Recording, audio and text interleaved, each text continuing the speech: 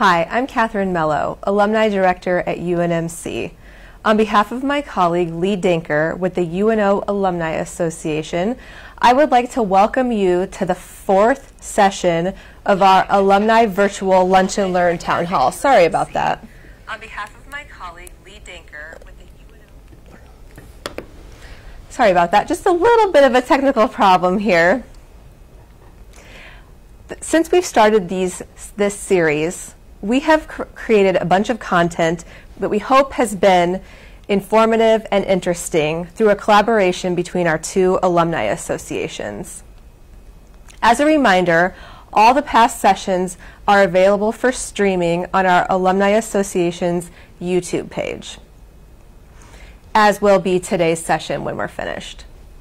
Today's session is one that I know I am very interested in hearing more about, with weeks and weeks and weeks of social distancing now under our belts.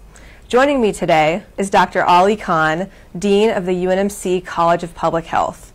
Dr. Khan is here to talk with us about what is a coronavirus peak? What does that mean? What should we expect and when can we expect it?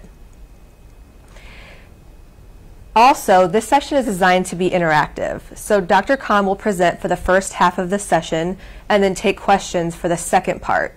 Please be sure to leave your questions in the comments of the live stream. And please let us know where you're from so we know who's joining us today. With that said, I'd like to turn it over to Dr. Khan. Thank you, Catherine. That was a lovely introduction. So I was asked to talk a little bit about COVID-19, and so I'm going to talk about a jailbreak. Um, and as you know, COVID-19 is due to a coronavirus, and corona sounds for crown. So I talk about the viral king keeping us locked up at home, and the tiger king is what we're watching as we're locked up from home. So this is going to be about a jailbreak, and I have a couple of slides to show you. Um, and uh, so there's five ways to make this jailbreak, and it looks like it looks like there's going to be a little time delay on these slides. So we're going to see how this works. So the five ways to make this jailbreak are the first way, oh, okay, before we get to the jailbreak, these were the five things, these were the five things that Catherine asked me to talk to you about. When, are we, when is the peak going to be? When will, when will we know it's the peak? What does normalcy look like? Uh, et cetera, et cetera. I'm going to ignore that. So let's just go to my set of slides of what I really want to talk about. so we're going to, so the, uh, you'll see a slide pop up now about the jailbreak uh, and how we're going to make this jailbreak. So the first, the first slide about make the first way to what you lost a slide here. Keep going. Jailbreak slide, lockdown slide. Nope. Okay. Well, we're gonna we're gonna we're gonna wing this completely now, folks. Okay. So the first way you can make a jailbreak is if you eradicate the disease. And we did that originally with SARS. So this coronavirus is very similar to the coronavirus we had in 2003 called SARS, that was severe acute respiratory syndrome. That disease, fortunately, was not as widespread as this one, and we got rid of it in about six months. And there's some countries trying to use the same approach for this coronavirus, um, SARS coronavirus 2 that's causing COVID 19. So, New Zealand, England, Vietnam, uh, Australia, they're trying to use the same type of approach to get rid of this disease. Uh, so, that's one strategy.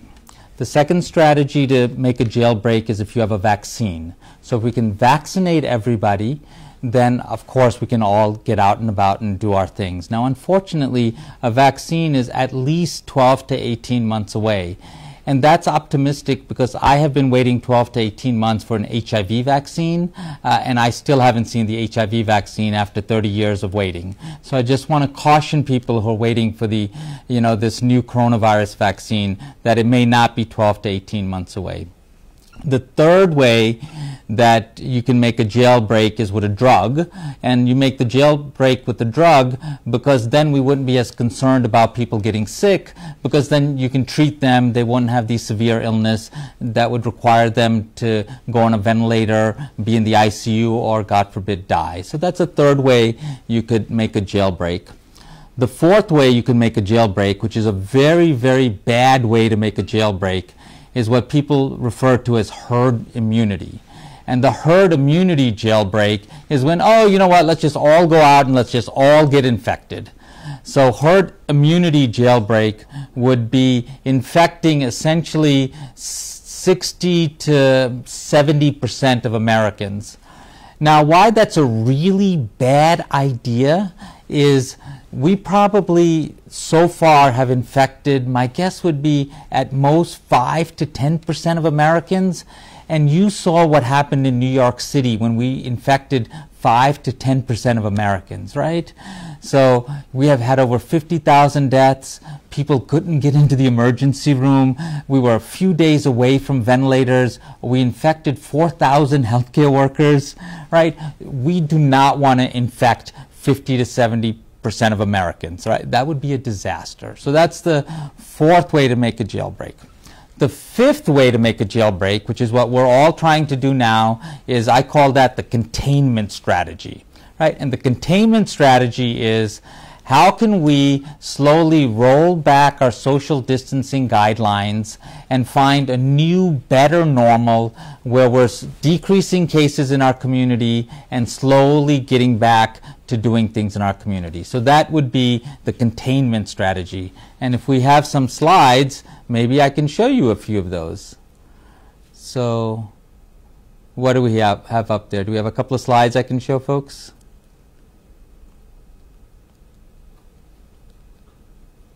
You're, so you're showing people right now a uh, so what you're seeing on this slide is a little science slide.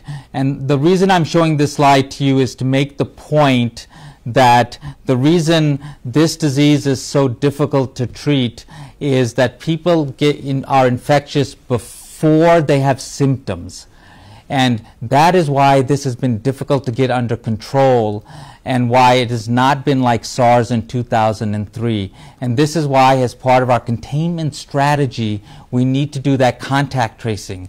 We need to find these individuals who are contacts very quickly and get them in quarantine because even if they're really good citizens and they know if they get sick, they need to stay home, they could be infectious two days before they get sick and still be out and about. So that's why I showed that slide, why contact tracing is so important.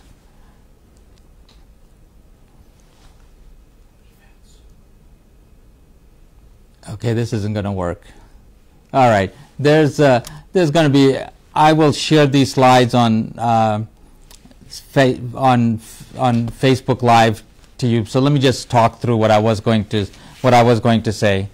So in the United States, um, we have peaked in cases, and hopefully we will start declining those cases. However, the outbreak in the U.S. is really over a hundred different outbreaks. So each state has its own outbreak, and even within the state, and Nebraska is a good example, each county and city is having its own different outbreak. So what's going on in Douglas County is very different from what's going on in Adams County or Hastings County, etc. And what we'll likely see is that we will be able to loosen restrictions in a different way. So here in Nebraska, we're having a big problem with meat packing plants, for example. So those counties, maybe you will have to release restrictions, uh, uh, wait for restrictions longer in those counties than other counties that are seeing few or no cases or declining cases.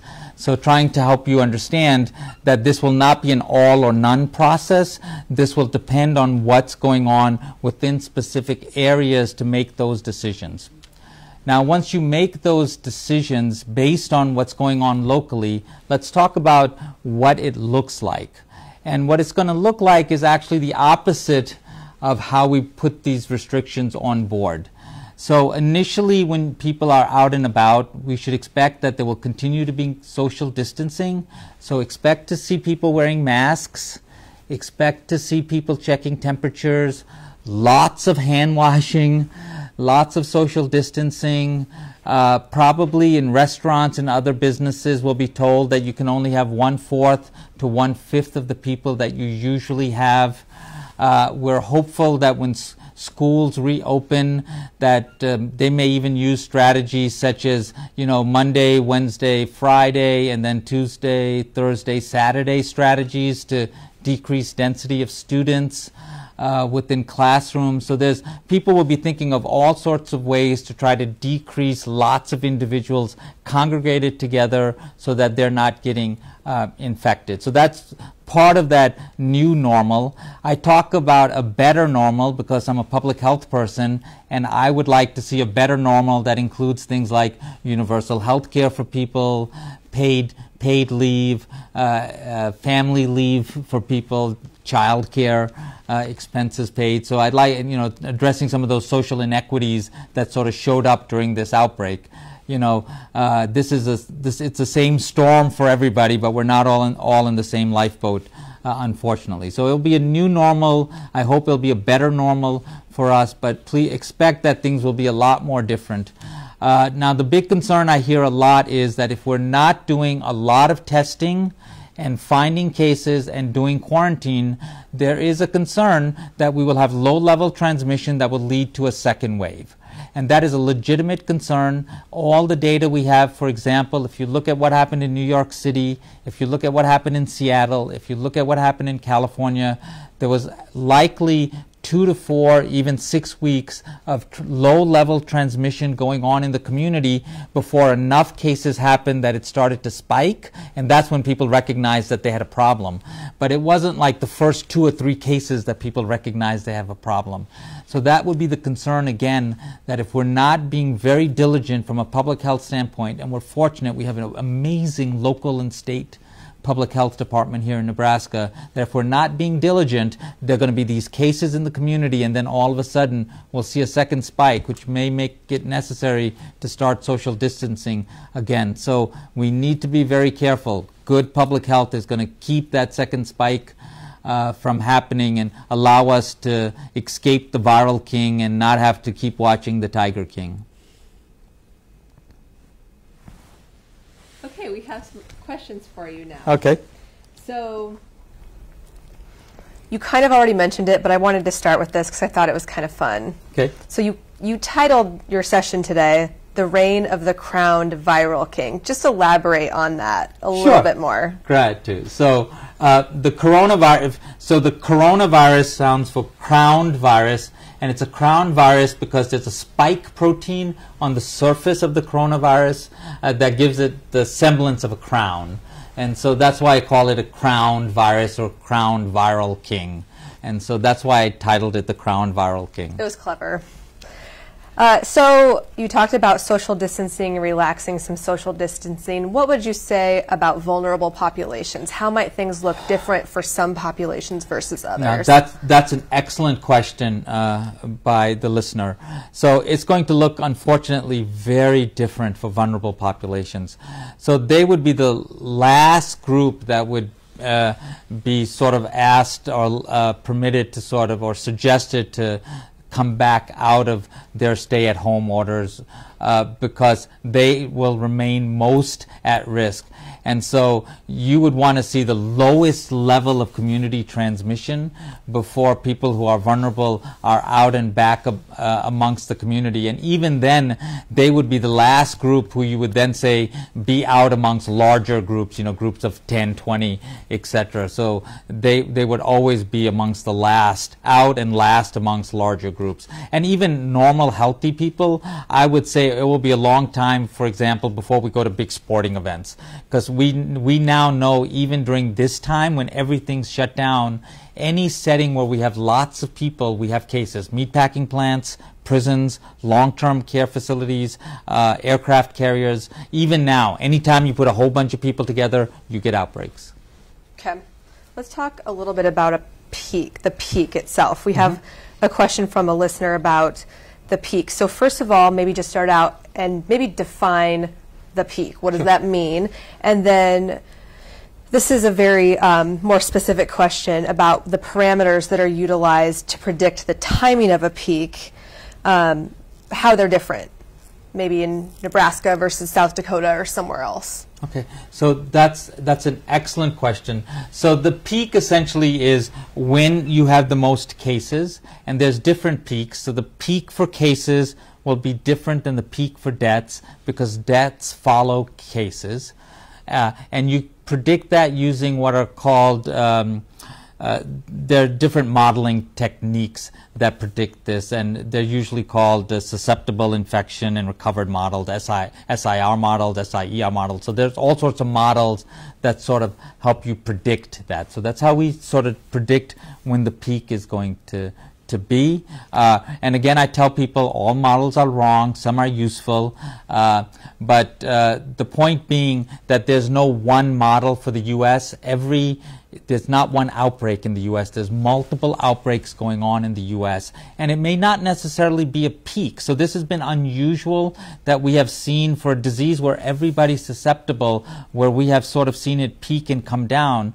because for we, it just could sort of peak again, sort of be more like a mountain range than just a peak and come down. So there's a lot about this virus that we don't know, and I don't want people to get the sense that okay, we've peaked, it's going to come down, and we're done. I think people should recognize that there's probably you know 80% of Americans that are still you know susceptible, and we could still get a whole lot more cases. And so then just, just describe what a wave is. You were kind of starting to go into that, I think, but what is that? What's the So, definition? so what a wave would be would be essentially additional set of cases leading uh, leading to a large increase and then going down again.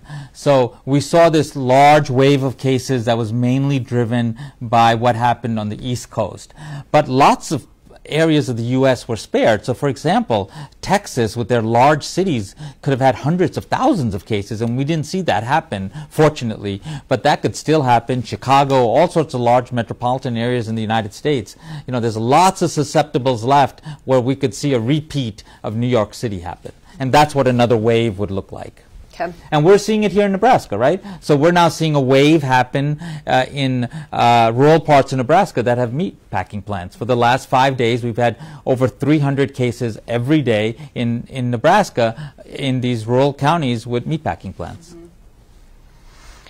So, switching subjects a little bit, uh, mixed messages about masks. Who should wear one? Where should we wear one?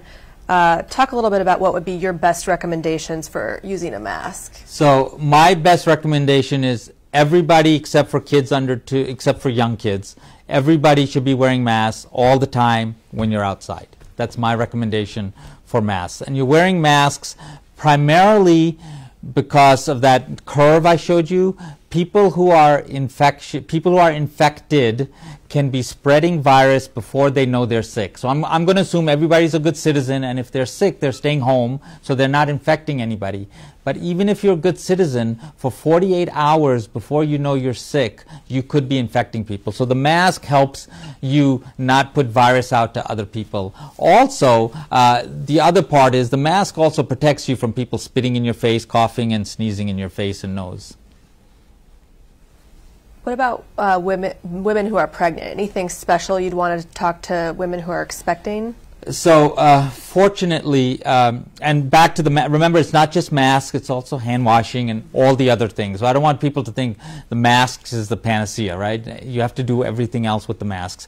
So, fortunately, it looks like pregnant women are not at much higher risk than other than others, uh, which is good news. However, the same set of recommendations to them about about masks and hand washing uh, also apply. Okay.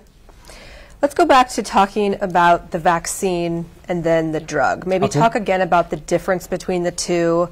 Uh, what's some good news maybe you've heard from somewhere, anywhere on the potential for a drug or a vaccine? Sure. So uh, the the good news for vaccines are there are three vaccines currently in people's arms. So there's a there's a vaccine. Uh, there's four, I think. One in China, one in England, and two in the U.S. So I believe there's four vaccines currently that have made their way into people's arms. So these are called phase one studies. They're generally safety studies. So that's fabulous news. That, that's so that you know this disease is four or five months old, right? And we've already got vaccine into people's arms. That's amazing news.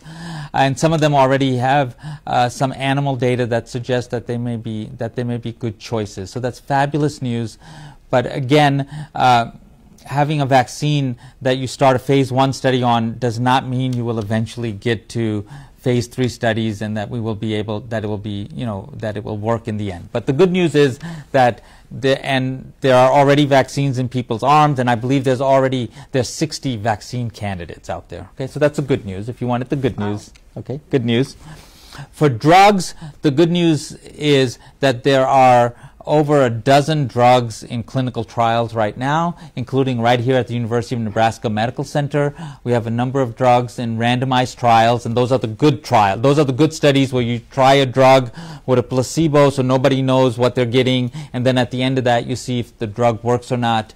So the, U so the University of Nebraska Medical Center is actively engaged in those studies. Uh, and hopefully some of those studies will show that some of the drugs that we're testing may actually work. Uh, so there's uh, good news on that front. There's nothing at this point that we know does work, uh, but hopefully of the numerous drugs that are being tested, something would be helpful. Kim? I'm going to shift gears just a little bit on you. Okay. Talk about rural areas. Okay. Uh, there's some disparities in rural areas about healthcare workers and what differently may be done there, if anything, to help out in those communities. So, excellent question, especially given here Nebraska and a focus for the college and the university on on uh, rural Nebraska. So, rural Nebraska has its own set of challenges with their critical hospitals, um, which are actually all hospitals in America suffering right now as we've stopped elective procedures and people are not going to the hospital. But do they have enough beds? Do they have enough healthcare workers to provide care to the patients? A number of the hospitals in rural Nebraska, now that they're seeing patients, have to send them out of their community, and so they need to make sure they have uh, the uh, emergency medical services are trained and ready to do that, and that they're able to take care of the patients who do show up. So those are the challenges in in rural Nebraska. Then they have the challenges, obviously, as we've been seeing with the meatpacking plants. They have the challenges with the long-term care facilities uh, there, and then they have the challenges of having enough resources, not just in the healthcare space, but in the public health space and uh, local public health space. So, uh, rural Nebraska has its own set of challenges. Jess has urban Nebraska has its own set of challenges, as we've seen here in Omaha. For example, we have a disproportionate number of people uh, who are black who, who have been infected with the COVID-19. So uh, different parts of the state have their own challenges and why I like to talk about not a new normal, but I like to talk about a better normal uh, after this outbreak. So let's talk a little bit about. Obviously, it's in the news that there are some states that are starting to release some restrictions and starting to open back up, so to speak. Um, talk a little bit about the frontline workers. What what should they maybe do to help protect themselves, and um, just as what are some guidelines as we start to release some of this, re, some, relax some of the social distancing? Sure. So, do you have a which frontline workers, Catherine? Thinking you of think like of maybe perhaps restaurants, restaurant okay, workers. okay. So, uh, people in restaurants and stuff like that. Uh, so there's two pieces. In my mind, there's always two pieces to this. One piece is how are you protecting the employees? So that's so.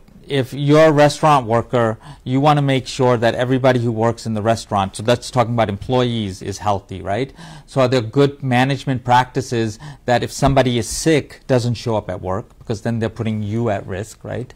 So there's those practices within the restaurant, and we usually layer them as people who are sick don't show up. What are practices around um, Uh, within the building around air exchange? There's all sorts of things around the building, no knobs, you know, no handles, things you can do in the building, and then administrative practices to make it safe for you to come, sick leave, etc. All the things we need to do so that sick people don't show up and you're safe. Make sure there's protective equipment for you, a mask and other things, hand washing stations, etc. So that's one piece. But then there's a second piece, which is the customers who come in, what is the restaurant or the facility making doing to make sure that the customers who come in aren't also infecting you, right?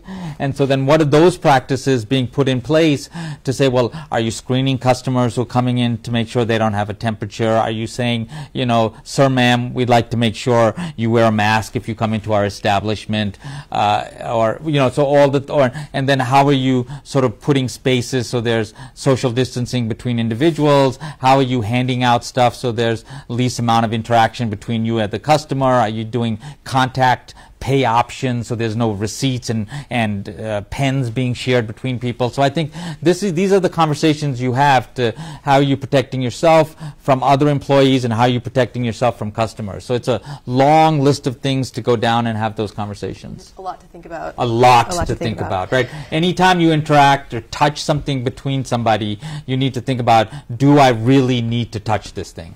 Okay. Let's talk about the future a little bit. What lessons maybe have you gleaned from this experience that would help us in the future? How can we prevent, is it even possible to prevent something like this from happening again? Or how can we apply what we've learned now to just make us safer down the road? So it was absolutely possible to prevent where we are now. Uh, and we're already doing that. So I don't. So let's not talk about the future, or let's talk about the near future, which is how do we get out of the mess we're in now?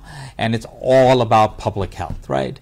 Which you know. So we talked about it. How do we get the testing up? How do we and find the cases, do the contact tracing? This is all the work of public health we need to do, right? How do we make sure we have the surge capacity? In the hospitals? How are we going out to the businesses to help make sure they're prepared, make sure the schools are prepared, make sure the long-term care facilities are prepared? This is the business of public health, and we need to have stronger public health, and we're going to do that now, and I hope we maintain that so we prevent the next pandemic. Okay.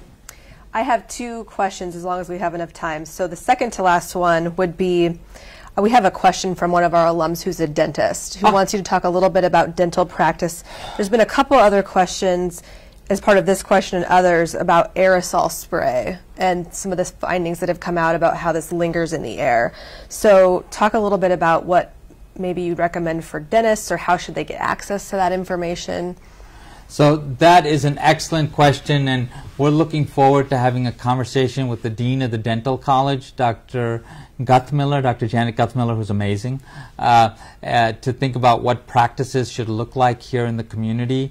Uh, and I would also reach out, obviously, to the American Dental Association. But aerosols are, are very problematic um, in, um, in practices, and as you decrease the community transmission, so as there are fewer and fewer cases within the community, obviously you're more and more protected. And the question is, where's that threshold when there are sufficiently few cases in the community that you can feel comfortable in creating aerosols within your practice, but going back to the restaurant question, what can you do within your practice to protect yourself, the people who are, and who are within your practice that may you may not have thought about previously?